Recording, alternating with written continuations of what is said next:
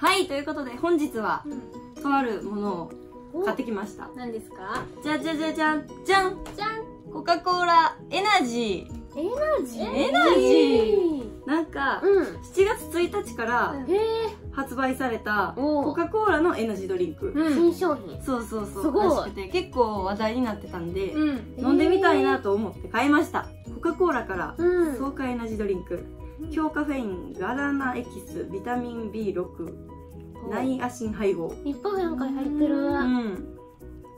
早速飲んでみたいと思います。えー。開けます。ではいはい。ちょっと分配していくなうん。あなんかもうなんか匂う。あほんまや。うん。色はあれなんかな。どうなんやお普通にコーラの。あコーラ色ですね。コーラ色です色はちょっと見せれる？角度が。ここぼれる。こぼれるな。ぼれる。色はもうコーラとコーラと一緒です。匂いは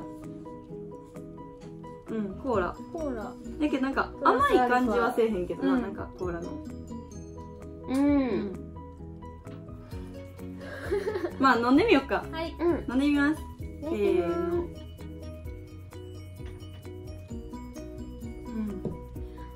普通のコーラとやっぱ味が違うよね、うんう。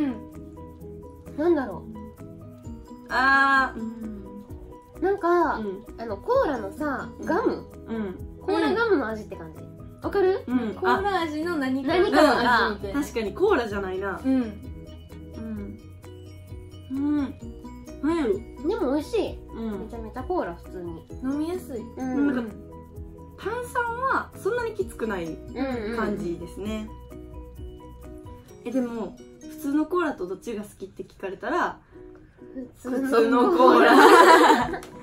まあやけどこれでうん。言ったら眠気をちょっと冷ましたりとかな、ん美味しい。うん。いいね。いいですね。でジャンキで買ったんですけどうん。このサイズでえっと160円でした。うん。やっぱエナジードリンクってちょっとね高いイメージがあるよね若干。うん。という感じでした。どうでしょう？美味しいです。美味しいです。美味しかったです。ので皆さんもぜひ買ってみてください。バイバーイ